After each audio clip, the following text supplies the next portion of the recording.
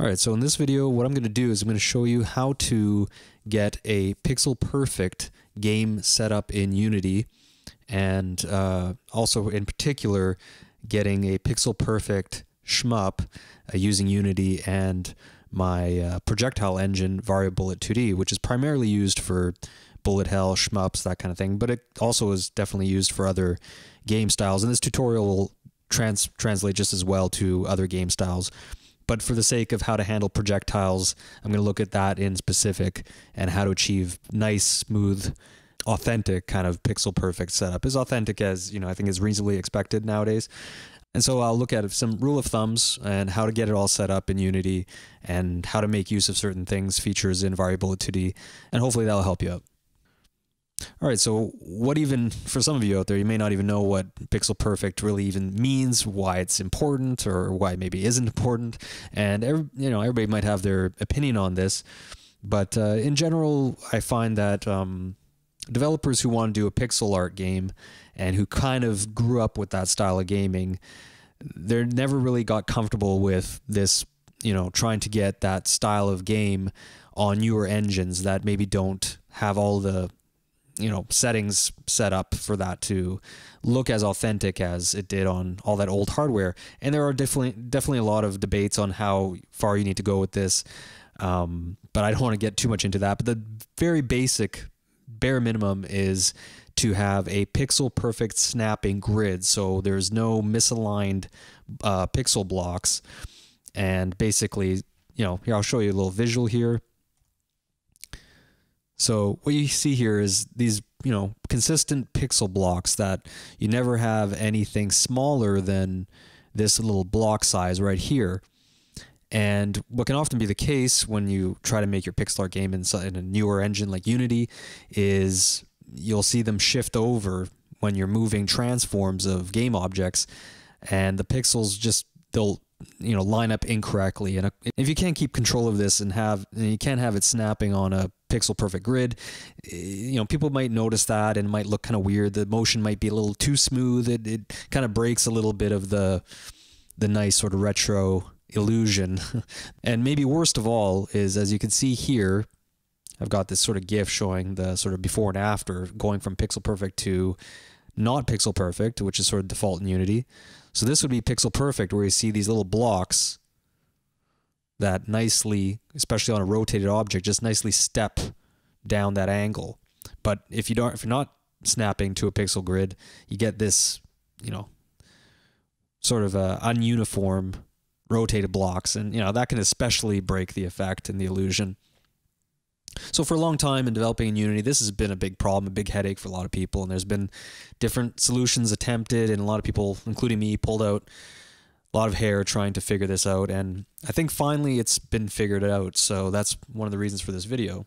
Now, if if this doesn't interest you, if you really don't care, then that's fine. You don't need to uh, do this if you don't, if it doesn't really bother you.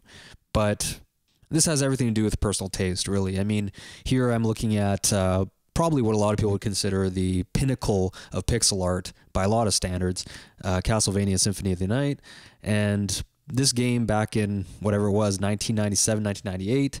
You see it; it's kind of blurry because it's taken from a a blurry screenshot, but you can see the blocks are nicely lined up, nice, you know, pixel grid. Everything's on a nice pixel grid, except for these elements right here these uh, sort of 3D rendered elements for some objects in the game where you see they're they're rotated. And uh, actually, I did, didn't really even notice this, probably because there's only a few elements that did that in the game. I when I thought about the sword, I, I thought in my head, how did they do that? And I realized, oh, you know, they must have um, rendered this at a higher resolution, doing the 3D rendering, rotated them at that higher resolution, um, and then took the lower resolution uh, rest of the game and then upscaled it to whatever this resolution is at, and you get this sort of mismatch. But whatever, it didn't seem to affect too many people's enjoyment of the game. So I'm just throwing this out there to show how, just goes to show that it's not necessarily a deal breaker if you don't get an exactly pixel perfect grid throughout your game. Uh, but this is sort of an edge case, I would say. So the very first thing to consider when trying to get this pixel perfect setup in your game is to think about the best resolution for your game. Um, for the destination resolution, most devices nowadays, the target resolution is about 1080p, right? And I know there's some odd resolution formats on smartphones and tablets, but even they can handle 1080p with some pretty decent scaling. You might get some uh, sort of stretching and compressing of the pixel uh, pixels if if you want it to be pixel perfect and it kind of ruins a little bit of it you know like if you try to use an emulator on a tablet and then you're playing like an old SNES game or something like that and you might notice that some of the pixels are stretched at odd values. So that sort of breaks it a little bit on smartphones. But and anyways for, for this tutorial I'm gonna choose 1080p and of course the game itself if it's a pixel game it's going to be at a, meant to be at a much lower resolution that's then upscaled to 1080p so another reason why I think 1080p is a really good resolution is because you could take 640 by 360, double it, and you've got 720p, and then or triple it, and you got 1080p. So you got these nice sort of uniform scaling uh, without any sort of stretching or resolution mismatch issues or anything like that.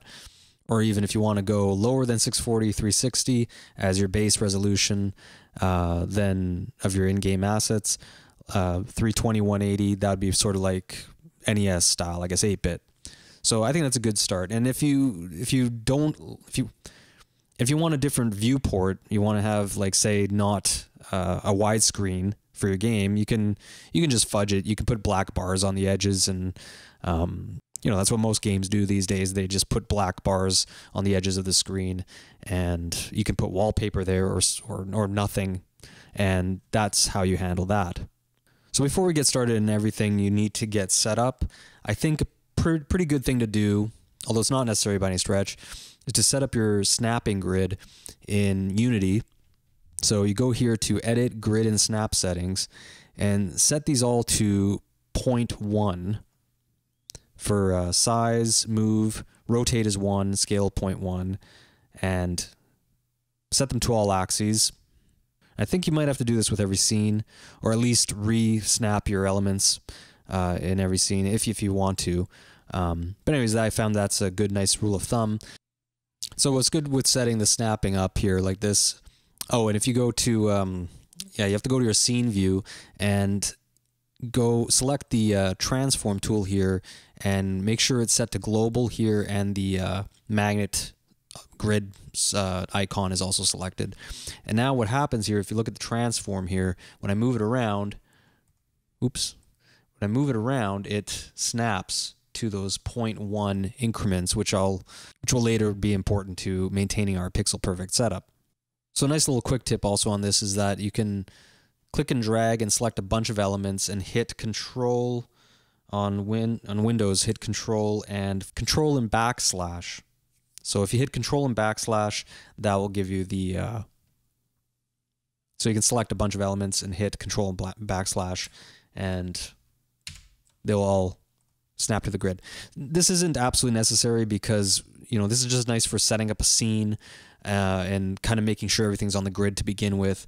But the pixel perfect component that we're going to be working with, it's going to just, it's going to snap everything uh, when you hit play. But just, this is to avoid any sort of potential issues where it actually snaps to uh, say like you want a player to be on a platform and somehow you overlap the platform and it's snapped to below the platform that could happen so it's kind of nice to be snapped nice and clean in your scene view to start with so there's no surprises so that's why setting up this snapping is is worthwhile in my in my estimation all right so the main thing you're going to want to use here to get this whole thing going is the pixel perfect camera component. This is, I think, um, officially put out by Unity. I think it maybe even comes in standard uh, in the uh, with the components in 2020 and above, maybe. I don't know. Don't quote me on that. But if not, you just download it. Yeah, just import it here. You'll see it's called 2D Pixel Perfect. Um, and this is a useful, definitely useful uh, web page to check out on the component and how to get things set up. A lot of what it talks about I will go into in this video, so this might just be something added that you might want to look into. And Pixel Perfect Camera is just a really simple component. The way you use it is just attach it to your main camera on every scene. And here in this scene, I have the Pixel Perfect Camera attached to my scene here. And it's really that that's all there is to it. You just have to then set up these uh, settings. So for me, I use a 10 PPU, a 10 pixel per unit setting in my games. The, the reason why I choose 10, some people choose 1. They think that this makes most sense for pixel games. Um, and the default is 100. The reason I choose 10 is like 1 in 100. It's very easy mathematically to work with. It's easy to multiply and divide. Uh, it's just really simple to get, you know, not some weird uh, numbers as a result of, you know, like if you use 16 or something like that. I'm not sure why people use those. Um, why I don't use one is because there's a little bit of confusion about this, but I've heard enough people say that there are troubles with the underlying physics engine if you use a one pixel per unit. Um, there's just some issues and errors, and I don't know. I don't even want to have to deal with that.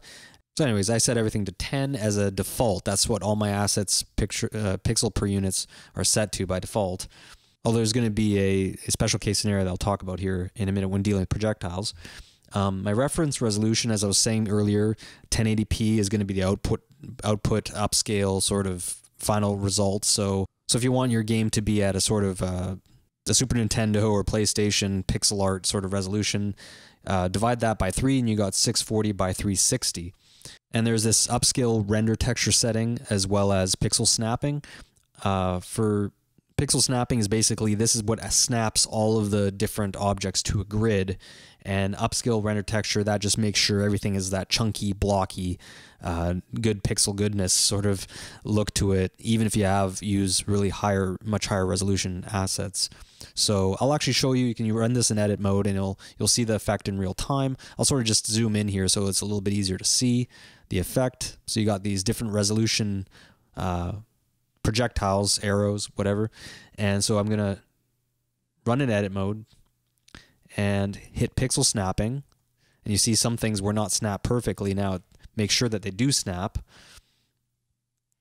And but there's no change in the resolution scale. You want those nice chunky pixels. So for that you just hit upscale render texture. And there you go. You got these nice you got a nice chunky pixely pixely good result. Um, but there's some issues here, kind of hidden. Uh, if you look really closely, you'll start to see them, and I'll talk about how to deal with these in a second. But that's basically all you have to do. You can run this in edit mode just to see the result. Make sure that uh, it's on, turned on when you hit play mode, and it'll just do its thing. All right, talking about assets here and some rules of thumb. Uh, here's the basic rules of thumb. I'm just going to look at a uh, test asset here. So the very first basic rule of thumb is uh, when you create the pixel art itself, avoid having any sort of um, transparency, uh, alpha channel. Make sure there's just nothing but solid blocks of, of colored pixels. Um, if there's transparency, make sure it's completely transparent because otherwise you're going to end up with these, these fuzzy sort of in-between pixels that get rendered differently depending on you know how it looks in the game. So you're going to want to make sure of that. No fuzziness. So make sure you're not um, doing much or you know too much anti-aliasing to sort of fuzz up the edges or anything like that. Uh, color palettes I find don't really matter too much as long as you don't go crazy with the anti-aliasing. Um, and the other thing is just keep it at the scale that you intend it to be in the game. You know, so if it's a 32 by 32 intended sort of image, then keep it at that resolution. Don't upscale it and, and make it double this the scale. Um, uh, except maybe I'll show you an example with uh, projectiles. It might be worth doing this, but for the most part, just keep your pixel art, you know, one time scale. Don't try to upscale it. Um, and that's about it for the uh, on the art side of things. When you import into Unity, here's the basic settings you want to keep in mind. So for this image, I said 10 pixel per unit is the default. That's true. I was doing some testing here, so I would go with 10 as the default. Uh, definitely make sure that you're on filter mode, filter mode point. Uh, that'll just make sure everything's nice and clean. There's no none of that fuzziness. And turn off compression. It has no real bearing on this. You're using really small assets. It doesn't really add any value. If anything, it could mess up your pixel art. You can change your pixels the way you intended them to be. And that's pretty much it for your basic default settings when you import your asset uh, sprite into Unity. Okay, well, now I talked about this special case scenario where you want a higher pixel per unit setting, maybe in some cases. Well, if you're rotating your object, I find that it's better to have a higher pixel per unit setting. And I'm not entirely sure why, but after a lot of testing, I found that the the best setting was in multiples of 30. So 30, 60, 90, 120. I think pretty much 30 and 90 was the ones that I settled on the most. Some cases maybe 120. But basically, you get these weird artifacts if you don't do that. Um, maybe it has something to do with the output resolution being at a 3 to 1 ratio. 640 uh, by 360 was my intended base resolution that then gets upscaled to 1080p. So, yeah, it's 3 to 1 ratio. Maybe it has something to do with that. I don't know, but this is what I found nonetheless. So if you take these images right here, um, this one, this is 80 PPU, and this one is 90 PPU. And if you rotate this, well, actually, I'll put it back to its normal rotation. And, and it might be a little hard to notice some lack of uniformity between these two. In the 80 PPU, you might see a little bit of a difference here with it's not quite uniform here. It's not quite symmetric. You see the blocks aren't quite the same on this side as it is on here, but here we have symmetry. If I take off the pixel effect, and I don't run an edit mode, yeah, it'll be even more pronounced. You see this really doesn't look very nice, uh, garbled line here, whereas this nice symmetric and clean, clean lines that are symmetric in all in all quadrants of this image. And if you use a higher PPU like like this, uh, you're going to want to scale up the image to make sure it's the right size when you have a larger PPU setting for the image. Uh, here, here I have some examples.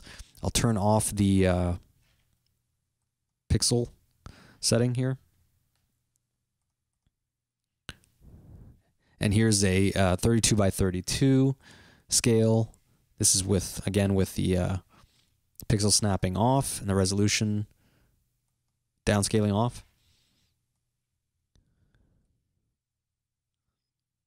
And this is three times scale at 30 PPU, four and a half scale at 45 PPU, nine times scale, 90 PPU, and 12 times scale, 120 PPU. Now, the main reason you do this that I found it would be for assets that you're going to end up rotating. So going back to the turning on the pixel snapping and downscaling with the resolution. Again, I'll zoom in to make this a little bit more clear. Is if I take the uh, one-time scale 10 PPU uh, projectile here, this arrow, and I'm rotating it, you can see that there's all these little spokes and sort of ugly edges. It doesn't look very nice. Um, if we scale it up three times but make it 30 PPU, then, well, you get a few less of those ugly edges, but still doesn't quite look optimum. See like that little edge there with that little stray pixel? Um, this is not a huge difference. It's going to be more of the same. Maybe even worse because it's 45 PPU. It's not at that nice 30, 90, 120 multiples of 30 that we talked about earlier. Now this is three times 90 PPU, and now we can see it's a lot nicer. The edges, everything's a lot cleaner. There's almost no random spokey little things popping out. And it might be a little overkill, but this is 12 times 120 PPU. And it's maybe even a little bit cleaner, maybe even a little nicer. Now, it's worth pointing out that these are such small objects um, with so little colors and their PNG files that there's not a really big difference in file size between these higher and lower scaled. So if you look at the different scalings here, this is the one time scale. I think that's three times, nine times, and 12 times. And I'm not just scaling them, I'm actually adding pixel data. As you can see, there's a lot more pixels filling it out. So don't just scale it and have these big chunky pixels. Definitely fill in that information. That will help uh, smooth out the um, when it gets downscaled, the end result.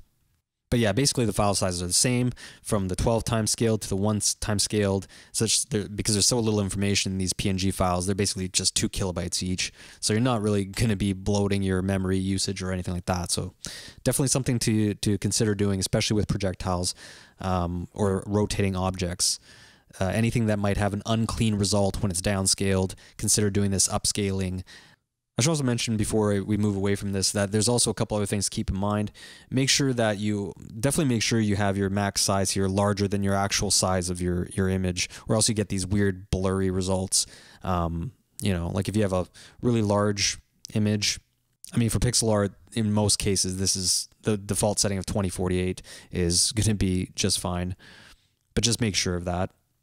And again, for rotating, it might be more beneficial to set your rotation point as a uh, instead of centered on a um, non-pixel value is to set it to custom. Actually, go to Sprite Editor and go to Custom Pixels, and now you can set your pixel coordinate where it's rotating to make it just a little bit. Um, might make your rotation a little cleaner.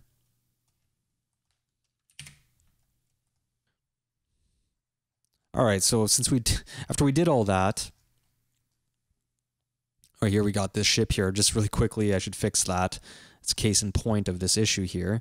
Um, this is normally a higher resolution image you see here, and it's just getting downscaled. So this has been blown up, scaled up, and just like those other projectiles, they were scaled up, but the PPU is not set to a nice PPU. to get these sort of unsymmetric pixels here, and it's just not very nice. So Let's set that to the correct nearest PPU that we decided upon here.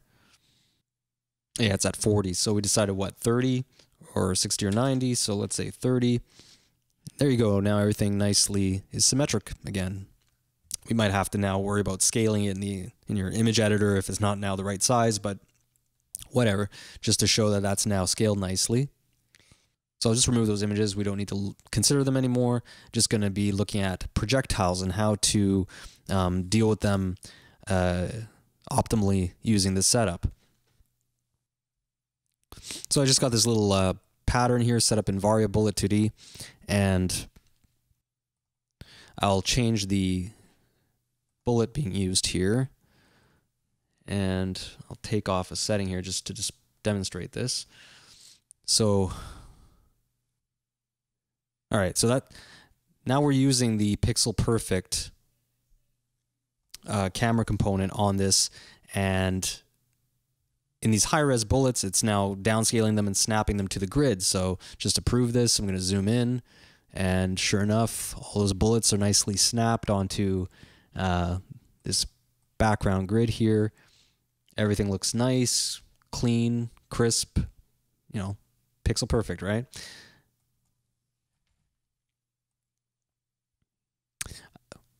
But you'll notice that there's this sort of jerkiness, this stepping sort of quality to the bullets.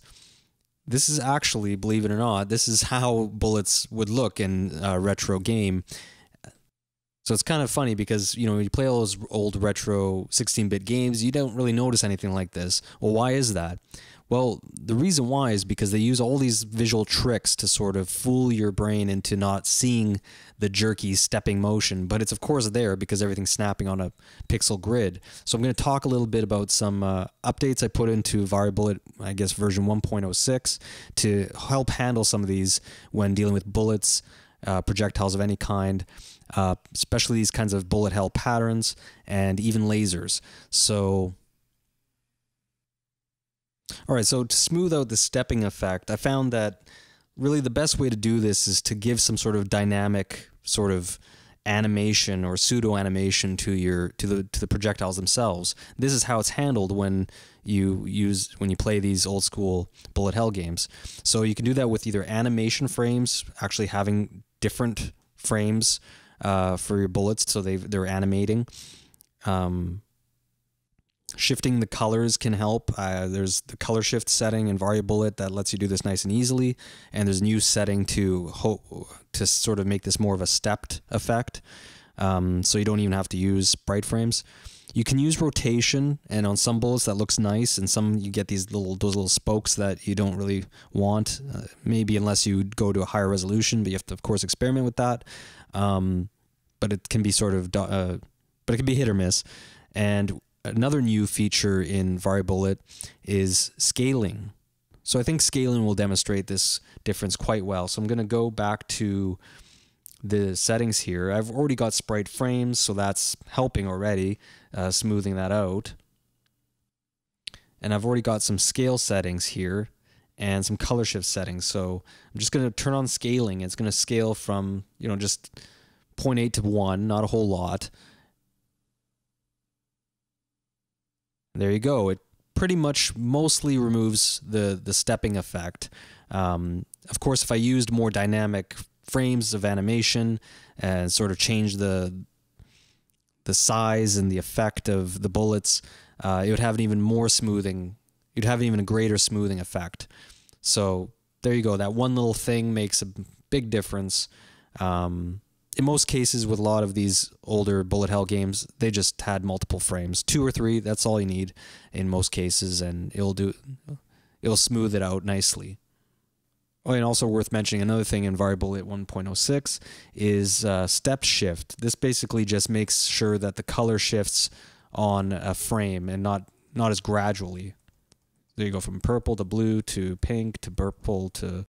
All right, so that's how to get a nice pixel perfect snapping, downscaled, you know, chunky projectiles for your bullet hell game or your non bullet hell game. That's bullets basically right there and, and other game objects lasers are a little bit different and uh, in Vari-Bullets. So you might also notice this if you made your own lasers. But if you're using Vari-Bullets lasers, I've updated it so it can handle this better. All right, so here we go. Checking out lasers, and everything looks pretty good with our laser here.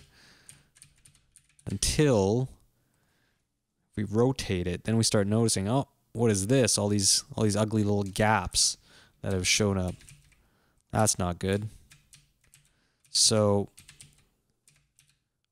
so if you want to have a pixel perfect setup in Vari-Bullet 2D in Unity, uh, I would recommend using super lasers, and you can adjust your you can adjust the overlap of the uh, different chunks and sections of the laser. So there's the for the front and the tip and the mid chunks. Um, now in version 1.06, I've added the ability to adjust uh, the overlap, either extend the gaps for whatever reason if you want to, um, which wouldn't be good here for Pixel Perfect, or uh, or overlap the chunks so that you don't get those gaps. So in this case, I'm just going to minus one. I found was the was the good value for that. Now when I rotate the laser, looks great. No gaps at all.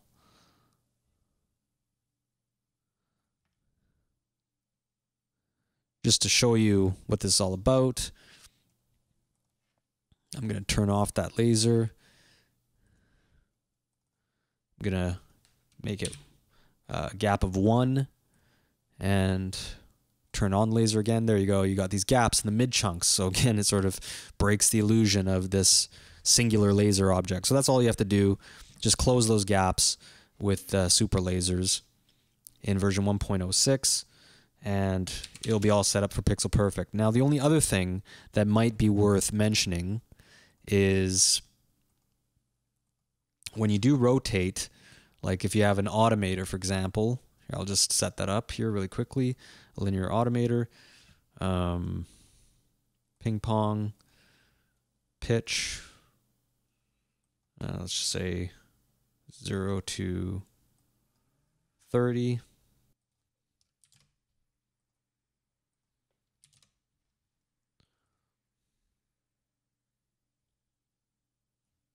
It's Not fast enough. It kind of looks a little bit, I mean, it is pixel perfect, but it kind of looks a little artificial. So, yeah, that looks pretty artificial. Looks maybe a little bit artificial. So, um, in some cases, you can obviously make it a slower laser that might paper over that effect if you're rotating your lasers. This is, of course, the only only reason I'm talking about this is if you're rotating them, which isn't too common. But if you do that, you can um, either deal with this, just live with it the way it, or it might be better to step through as an increment the uh, increment by a set increment, like 5, 10, or something like that, instead of just sort of smoothly. So we can just go, say, increments of 10, or maybe 5 is better. So let's just go, oops, let's go 6. I'm sorry. Screwing up here. Okay, so 0, 5, 10, 15, 20, 25. All right. Oh, and set it to pitch, I guess, in this case.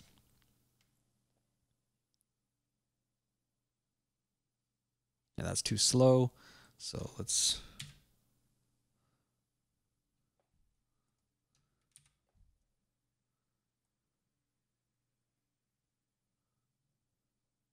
Now, this might look a little bit more pixel art like, maybe, although you could still probably make those increments a little bit shorter. But you have to be careful when doing this because your uh, the object that it looks to be hitting might actually end up be in the between spot, and that won't be good because it won't actually hit the object. It'll just sort of it'll look like it's passing through it basically. So, anyways, I, this is more for you to figure out how you want to approach this. This is sort of one way to look at it. You can make these increments really small. You don't have to, of course, use the Automator. You can write your own script to really uh, simply just change the the pitch or the rotation of the laser, however you wish.